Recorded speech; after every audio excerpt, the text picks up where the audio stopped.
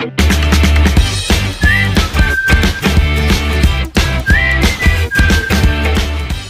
everyone, I'm Shivam Pasari and welcome to Ace In Academy. Now as you can see from the title of this video, in this video we will learn how to find the last non-zero digit of any n factorial.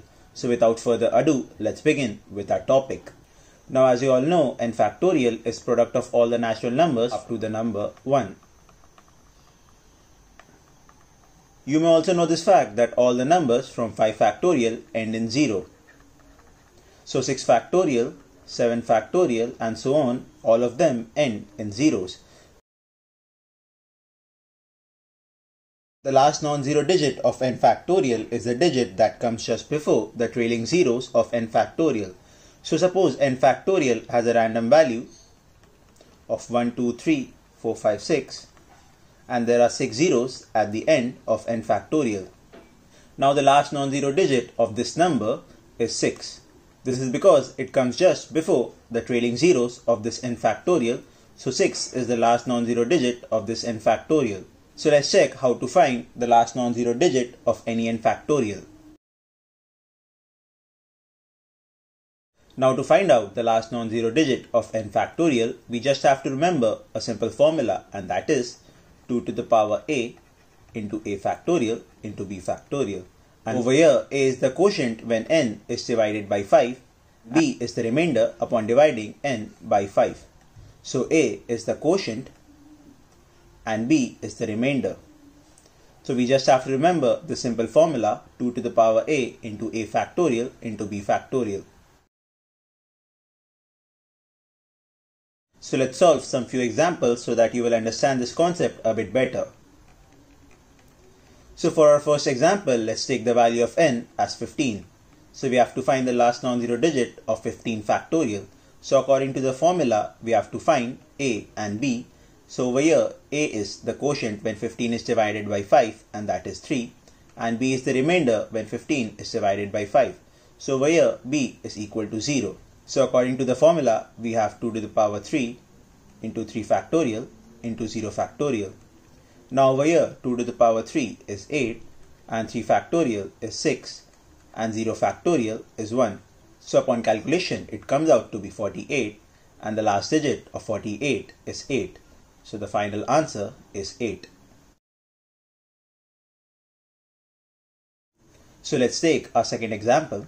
So for our second example we take the value of n as 30 so we have to find the last non-zero digit of 30 factorial. Over here, our a is equal to 6 because 30 upon dividing by 5 gives the quotient as 6 and our remainder is again 0 so the value of p is equal to 0. So according to the formula, we have 2 to the power 6 into 6 factorial into 0 factorial.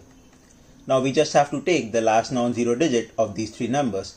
So 2 to the power 6 is equal to 64 so the last non-zero digit is 4 6 factorial is equal to 720 so the last non-zero digit of 720 is 2 and 0 factorial is 1 so we take 1 last non-zero digit of 30 factorial is 8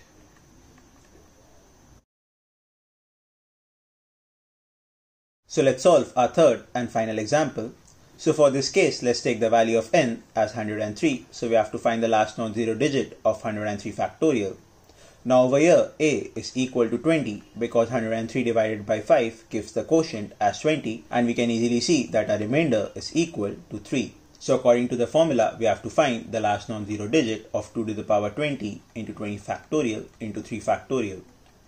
Now I can find the last digit of 2 to the power 20 with the help of cyclicity and it comes out to be 6 and 3 factorial is 6 itself so I can write simply 6. Now I don't know what is the last non-zero digit of 20 factorial so I will repeat the process once again. Now in this case, my a is equal to 4 and my b is equal to 0.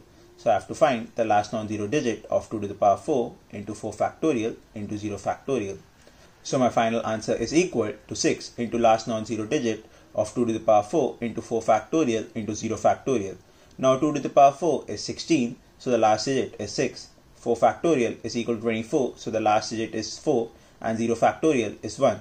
So we have to find 6 into 4 into 1, which is 24. So the last digit is 4. So my final answer is the last digit of 6 into 4 into 6, which comes out to be 144. So the last digit is 4. That was all for this video and I hope that you understood all the topics covered in this video. And if you have any doubt, then you can post your doubts down in the comment section or you can send your doubts to us to our channel's official Instagram or Facebook page and we will surely solve your doubt as soon as possible. Or you can go to the official website of Ace In Academy and you can send your doubts to us from there and all the links are provided down in the description. And if you did like the video, then please hit the like button and subscribe to the channel Ace In Academy.